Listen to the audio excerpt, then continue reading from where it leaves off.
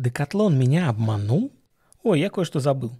Большинство видеороликов про гамаки начинается со слов о том, что вы неправильно лежите в гамаке. Да, вот так неправильно. Чтобы выпрямить спину, вам нужно лечь под углом. Вот так. Так, кстати, тоже правильно. И так тоже. Что ж, обязательная программа ликбеза выполнена. Теперь можно рассказать свои впечатления о гамаке из Декатлона. Это самый маленький из доступных в Декатлоне вариантов. Сначала о весе. Заявлено 540 грамм. Да, разница великовата для допустимой погрешности. А дело вот в чем. Смотрите, это просто какое-то собрание сочинений, пришитых к гамаку. Отрезаем. 15 грамм. Ах да, вот еще довесочек. Итого, общий вес 544 грамма.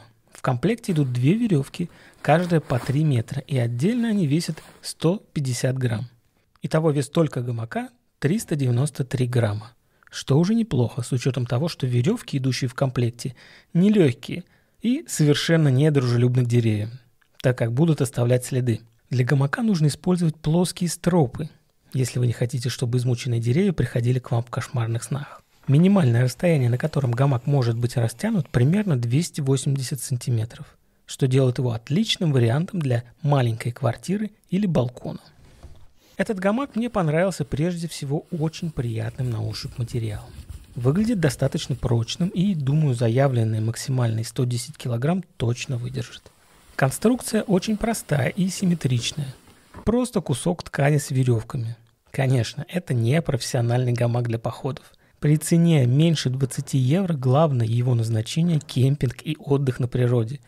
Однако при желании можно его рассмотреть и для ночевок. Но при отсутствии комаров и наличии тента в дождливую погоду. Но помните, что даже при непродолжительном отдыхе в любом подобном гамаке вы будете чувствовать холод в спине. Поэтому для длительного отдыха – вам необходимо утеплить гамак снизу при помощи теплоизолирующего материала. Подойдут туристические коврики, надувные и нет, которые кладутся внутрь, или специальные андерквилты, которые вешаются снаружи. Гамак имеет карман, который играет роль чехла. При необходимости веревки тоже помещаются внутрь. Если вы выбираете гамак для кемпинга, думаю, что вам уже достаточно визуального ряда, чтобы принять решение.